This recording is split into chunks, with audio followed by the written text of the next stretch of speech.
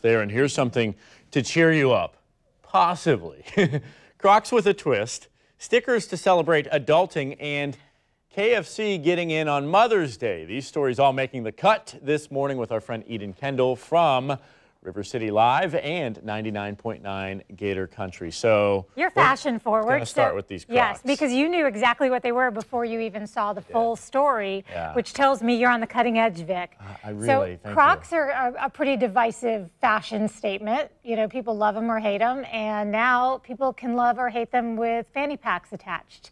Crocs and fanny packs are both kind of those those fashion either either, like I said, you're very forward or you're committing a faux pas. Well, now two two great items together. So that's got to be a tiny little fanny pack, just enough for a maybe a credit card, a key. Exactly. On your Crocs, good stuff. I could see it being useful if you're taking the kids to the pool. Yeah. And you don't want to Mark have to carry Payton things. has a pair just like it. He wears them all the time. Liar. So he walked in the room, hey, so I had to say that. We, um, we, we don't use we don't use harsh language here. We're a friendly place. So is your laundry all done?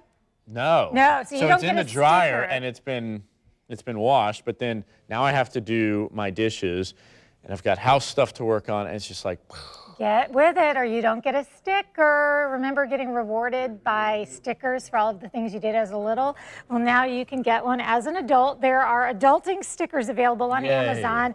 Things like I put my phone away, I did my laundry, I paid a bill, and just all in all, I adulted. So I like I moved on. I moved on, yeah, that's a good one. So if you know somebody who's just going through some heartache and they've managed to pull it together, you can give them a little sticker saying, I've moved on. I was on. trying to give that pep talk to some friends this weekend because they're still like obsessing Stuff. over their exes. Yeah. And I'm like, move on.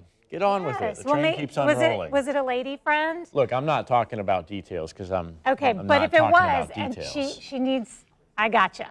So I have something for a lady who needs a little cheering up, and this yeah. is for Mother's Day from KFC. This is the Chickendales Dancers. You can actually customize a video with Colonel Sanders and his dance troupe and put your mother's name in it.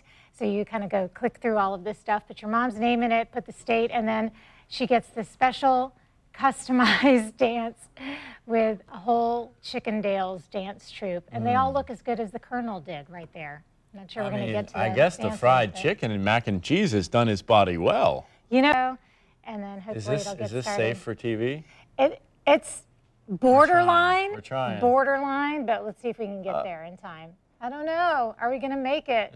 You know what? That's that's temptation. There. It's pretty easy to find. Just go to kfc.com and it's chickendales.com as well if you're looking for it there. So when we teased this, we got some viewer emails. One of them, Michael Mann, who watches our show every day, he said he's going to go there and actually make it a little bit more realistic.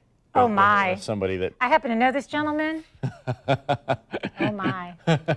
he, he doesn't necessarily think that the colonel would have abs and pecs like that. So. Well, he does. Take a look at chickendales.com. Be sure you're with us today on River City Live. Got a lot of fun stuff for you. Oh, yeah, absolutely. Eden, always a good time with you. Thank you. Thank you.